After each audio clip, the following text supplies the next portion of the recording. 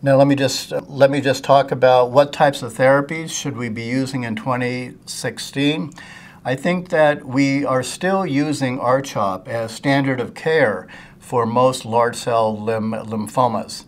There is a particular type that uh, of, of uh, large cell lymphoma that does occur in uh, younger uh, patients, uh, and it actually occurs somewhat more commonly in women, and that's called primary mediastinal large cell lymphoma. A study was recently published approximately uh, one to two years ago that actually showed that, uh, that a regimen called dose adjusted EPOCH-R had a cure rate of uh, approximately 90%.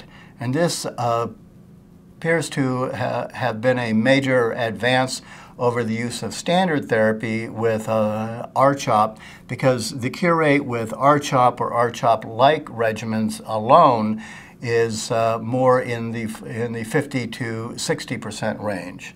So when you give R-CHOP chemotherapy for primary mediastinal, it is usually uh, uh given along with radiotherapy.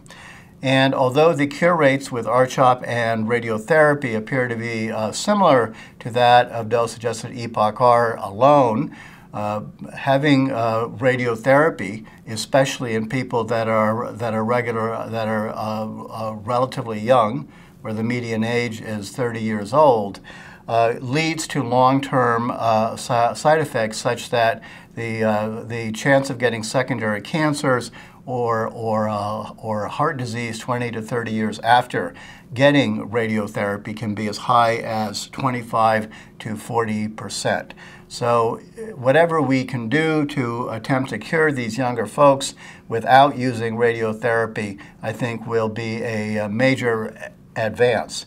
And uh, the dose-adjusted EPOCH-R regimen uh, at, the, at the current time uh, seems to have the highest cure rate and does not usually require radio, radiotherapy.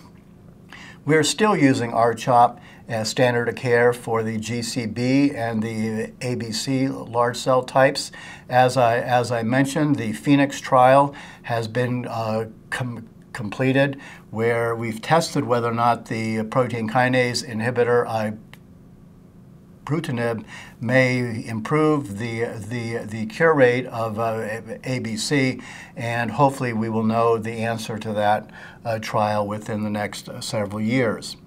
Uh, there's also a, a large randomized study that was uh, uh, finished last year that compared the standard R-CHOP to the dose-adjusted EPOCH-R regimen.